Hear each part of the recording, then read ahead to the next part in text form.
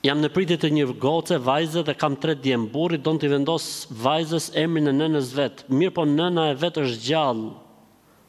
Mua nuk më pëlqen kjo gjë, a lejohet që ta kundërshtoj burrin?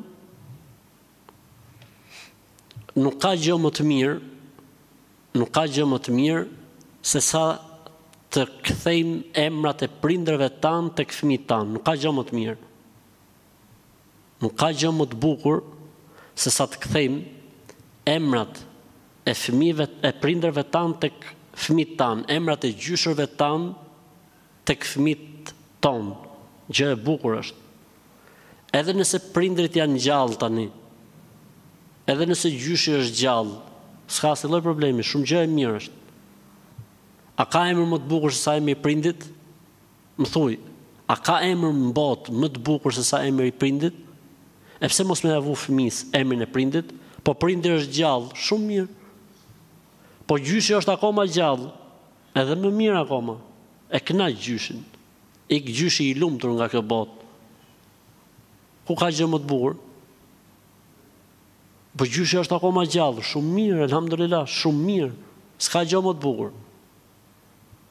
T'i ruajmë emrat e prindërve tanë, t'i ruajmë emrat e gjyshërve tanë, t'i kthejmë ato dhe t'i mbajmë. Nuk ka gjë më të mirë. Kështu që për këtë rast ty nuk lejohet që ta kundërshtosh burrin për dy arsye. Arsyeja e parë se vulën në këtë pikë e ka burri. Pra në qoftë se ju nuk arrini një gjuhë, atëherë ai që vendos është burri. Dhe arsyeja e dytë, kjo është e këshillueshme që të ruajmë, të ngjallim emrat e prindërve tanë, emrat e gjyshërve tanë. S'ka gjë më të mirë, s'ka gjë më të pëlqyeshme.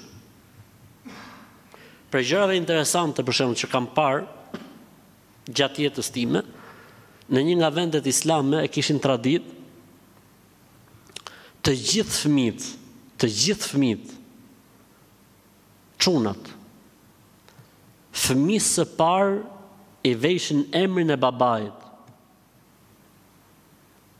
gjithë fëmijtë emrin e fëmijës parë i vejshin emrin e babait. Pra nëse një prind për shembull kishte le të themi 7 çuna apo 6 çuna apo 5, të gjithë ata kur boheshin me fëmijë, fëmijën e parë i vejshin emrin e babës.